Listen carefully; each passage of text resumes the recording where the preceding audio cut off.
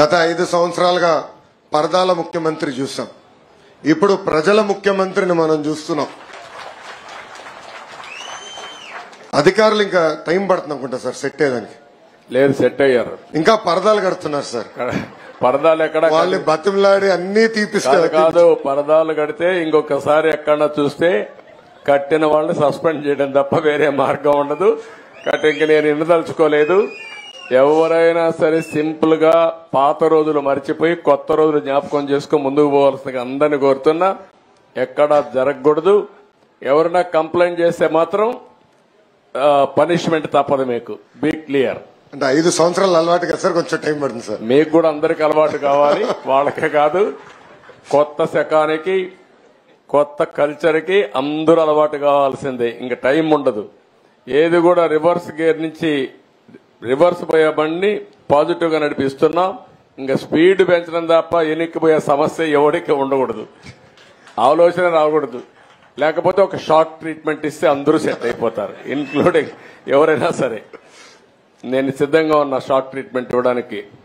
పాపం ఇంకా కొంచెం ఇది ఉంది కాబట్టి స్లోగా పోతున్నా. ఇప్పుడు స్పీడ్ పెంచాలి ఇంకా. అంతే. నేను అందుకే చెప్పా తొంభై ఐదు ముఖ్యమంత్రిని చూస్తారని. Four point o ninety five. అది గుర్తుపెట్టుకోవాలి.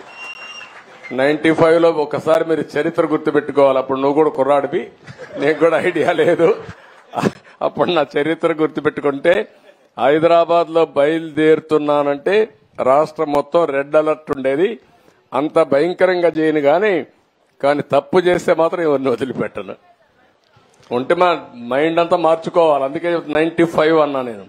Ninety five CBN one point o not four point.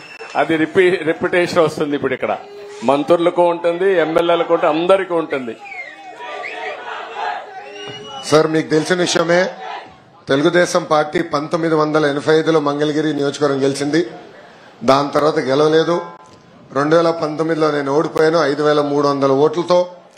కానీ ఐదు సంవత్సరాలు అనేక సంక్షేమ అభివృద్ధి కార్యక్రమాలు ప్రజలకు అందజేశాం. మొన్న ఇరవై ఇరవై నాలుగు ఎన్నికల్లో ప్రజలందరూ ఒకటే చెప్పాను సార్. ఏ మెజారిటీ అయితే ఓడిపోయినా దాని పక్కన ఒక సున్నా పెట్టండి. ఆ మెజారిటీ మళ్ళీ గెలిపించి శాసనసభకు పంపించాలని ప్ర- ప్రజలందరినీ ఆనాడు కోరాను. అంతేకాకుండా నాకు ఎంత ఎక్కువ మెజార్టీ ఇస్తే నాకు కొండంత బలం వస్తుంది గౌరవ ముఖ్యమంత్రి గారు వర్యులు చంద్రబాబు నాయుడు గారితో అవసరమైతే దెబ్బలాడి నిధులు తీసుకొచ్చి నియోజకవర్గాన్ని అభివృద్ధి చేస్తానని ఆనాడు హామీ ఇచ్చాను సార్. నేను కూడా ఊహించలేదు. ఆంధ్ర రాష్ట్ర ప్రజలు ఊహించలేదు. ఎవరు ఊహించిన విధంగా తొంభై ఒక వేల ఓట్ల మెజార్టీతో నన్ను మంగళగిరి ప్రజలు ఆశీర్వదించారు దీవించారు సార్. సమస్యలు సమస్యలు ఉంటాయి సార్. రోడ్లు కానీ డ్రైన్లు కానీ పక్కా గృహాలు కానివ్వండి.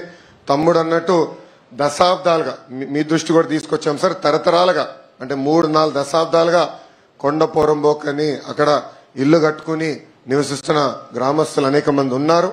అవన్నీ కూడా రెగ్యులరైజ్ చేద్దామని చేయాలని గతంలోనే మిమ్మల్ని కోరటం జరిగింది. ఇలా అనేక సమస్యలు మంగళగిరి ప్రజలు ఉన్నాయి ప్రజలకి ఉన్నాయి. దానికి మీ ఆ సమస్యలు పరిష్కరించడానికి మీ సహకారం చాలా చాలా కావాలని ఈ సభాముఖంగా కోరుతున్నాను. ఈరోజు ఎన్డీఏ ప్రభుత్వం అంటే తెలుగుదేశం జనసేన భారతీయ జనతా పార్టీ ప్రభుత్వం తీసుకున్న తొలి సంక్షేమ కార్యక్రమం మూడు వేల రూపాయల పెన్షన్ని నాలుగు వేల రూపాయలు చేస్తాం సార్. ఆ కార్యక్రమం మా మంగళగిరి నియోజకవర్గంలో చేస్తాం. చాలా చాలా ఆనందం కల్పించింది. మేము మీ వెనకాల ఉంటాం. అమరావతి పనుల్లో కానివ్వండి సీడ్ యాక్సెస్ రోడ్లో కానివ్వండి ఇతర సంక్షేమ అభివృద్ధి కార్యక్రమాల్లో ముందులో మంగళగిరి ప్రజలు మీకు నిలబడతారు మీకు అండగా ఉంటారు. వచ్చే ఐదు సంవత్సరాల్లో అన్ని శాఖ మంత్రులతో మేము మేము చర్చిస్తాం. ఇక్కడున్న సమస్యలన్నీ పరిష్కరించే మార్గాన్ని మేము ఎత్తుక్కుంటాం సార్.